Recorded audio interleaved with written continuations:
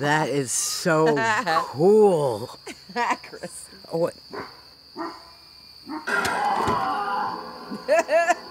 wow. Yeah, he's not fitting in that little box anymore. That's done.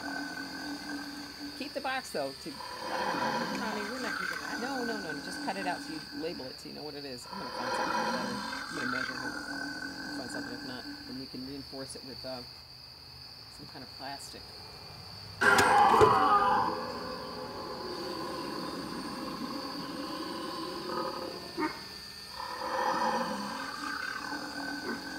Yeah, if you let it go that long one, you're not gonna be able to send it to anybody. You've gotta do a shorter one, 20 seconds.